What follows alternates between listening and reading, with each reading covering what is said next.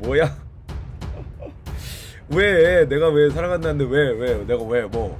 왜 뭐 왜 로봇 소리야 왜? 성대의 한계 나의 체력의 한계 내 말이 메시지가 되어 대한민국 청년들을 깨울 것이고 이들에게 비전과 목적 그리고 목표를 탈취해내는 탁월함을 깨우게 될 것이다.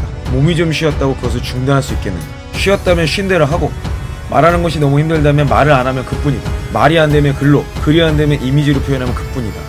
멈출 수 없다 여러분 일사각오라는 그 표현 아세요?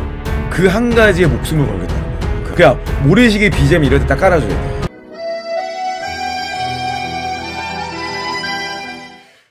네, 안녕하세요. 일제님. 자, 네, 오늘 간단한 찌찌님, 간단한 자기소개와 좀 어떻게 어, 오셨는지 이런 거 좀 간단히 소개해 주시겠어요? 안 맞는 전공이랑 이제 어, 좀 다른 직무 이거에 음. 대한 조금 고민. 전공이 어떻게 되시죠? 어, 전공은 산업경영공학과예요. 산업경영. 그러니까 산업공학 맞죠? 네, 네, 네 맞아요. 음. 근데 그 지원하신 분야가 어디예요? 어, MD 아 분야요? MD 쪽으로. 음, 그러니까 MD를 하고 싶은 거예요? 아니면 네, 뭐예요? MD 좀 이렇게 좀 활발한 그런 좀 활동을 좀 하고 싶어가지고 음, 좀 영업도 조금 고민을 해봤고요. 네. 근데 산업공학하고 MD나 영업은 잘 맞는데요? 왜 안 맞는다고 생각하시죠? 어, 아, 아무래도 산업공학이 저희가 품질이랑 생산 쪽을 조금 많이 음. 아, 배웠는데 그쪽을 많이 배웠구나. 네. 네. 그래서 어떻게 써야 될지 좀 모르겠어요. 뭐 전공은 그렇게 배웠더라도요. 네. 산업공학이라는 것 자체가 프로세스가 되게 중요하잖아요. 네네. 프로세스를 배우는 거는 영업이라든지 이런 거는 다 연결이 될 것 같고요. 지- 아, 네. MD는 사실 좀 달라요. MD는 전공이랑 어차피 상관이 없어요. 어떤 MD 하고 싶어요? 아이템이 있을 거 아니에요. 패션은 어떤 분야? 그러니까 음, 옷, 여성? 어드, 여성복? 어, 여성복 얼마나 좋아해요? 어, 제가 1년 정도 그 의류 매장이랑 핸드백 음, 이제 매장에서 알바를 계속 했었거든요. 음, 그래서 이제 계속 한, 한 3, 3, 4년 정도 계속 이제 서비스직을 하다 보니까 음. 좀 그런 그런 옷이나 이런 거를 이제 보고 이렇게 하면서 좀 그런 게 되게 흥미가 있더라고요. 어, 그래서 그러겠네. 음, 네 그래가지고 조금 고민을 하고 있는데 음. 조금 어려운 것 같아요. 근데 어려울 게 없는 게 어, 1년이면 충분한데? 산업공학에서 공부했던 기법으로 현장을 좀 분석해 볼 수는 없을까요? 저는 패션에서 산업공학과 되게 많이 뽑았었어요. 아, 왜냐면? 특히 기획 MD는 수량 산출이 핵심이거든요. 네네네. 그래서 상품 적중도하고 예측 물량. 그래서 아. 미리 생산을 먼저 땡겨서 어, 물건이 터지기 전에 매장에 공급을 해줘야 된단 말이죠.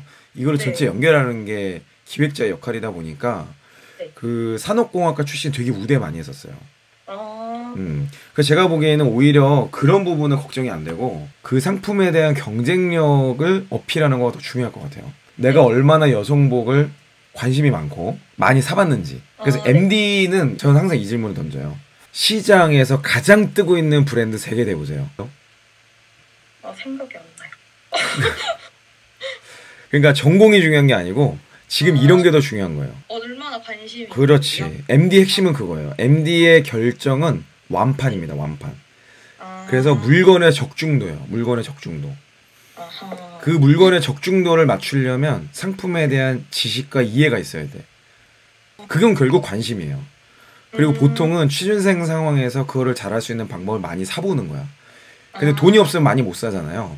네, 근데. 판매 경험이 있어. 이건 되게 좋은 거예요. 아, 그래서 내가 직접 사진 않았지만 사람들이 사는 구매 패턴을 배울 수 있었던 거거든. 아 그쵸 그쵸. 그쵸, 어. 그쵸. 네, 그게 보세 어. 그, 좀 그런 Wonder Place가 상호만 말이 되나? 어, 아무 상관없습니다.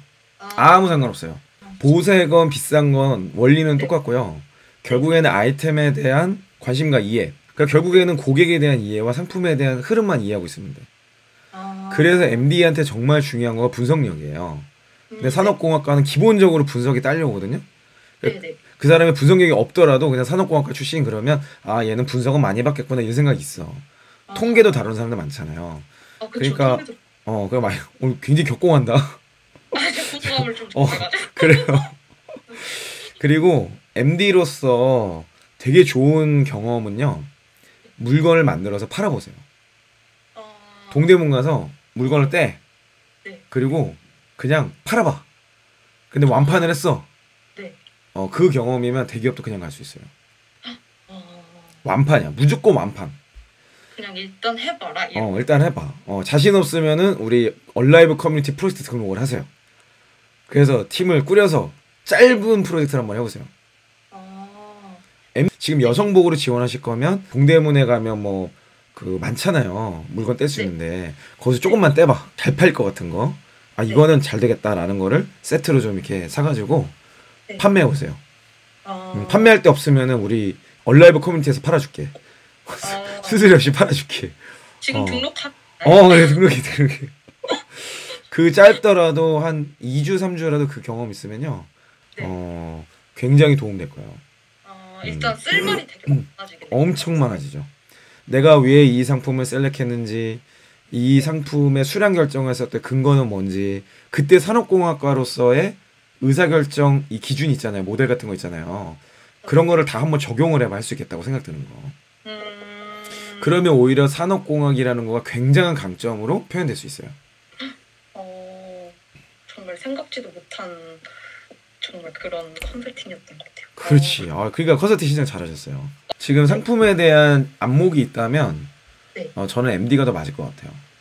어, 아하. 산업공학이라는 강점을 더 살리기 좋아요.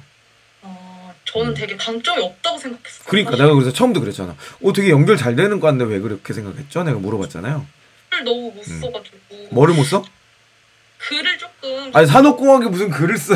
숫자를 보면 되지. 아니, 자소서를 또 써야 하니까 핵심은 글이 아니에요. 글이 아니고 그 안에 들어가는 내용이에요. 아, 네, 거기에? 수치가 있어야 돼. 예. 음. 그래서 지금 빨리 프로젝트 해보라는 거예요. 그래요. 하여튼간 잘 준비하시고 프로젝트를 네, 만날 네. 수 있으면 또 만나요. 네, 뵐게요. 또 올게요. 네. 네. 자 오늘 이분 찐찐님의 고민은 뭐였죠? 전공하고 내가 지원하고자 하는 직무와 연관성을 못 찾겠어요 였어요. 근데 생각을 해보면 사실 그렇지가 않습니다. 대다수의 많은 경험을요 여러분의 직무와 연결시킬 수 있는 포인트들이 있어요. 다만 여러분들이 이걸 못하는 이유는 뭐냐면 역량에 대한 이해가 없는 거 첫 번째. 두 번째 비즈니스에 대한 이해가 없어요. 그러니까 이 두 가지가 있어야 사실 어떤 거든 연결할 수 있어. 산업과 사업에 대한 공부를 같이 해야 되는 이유가 바로 여기에 있습니다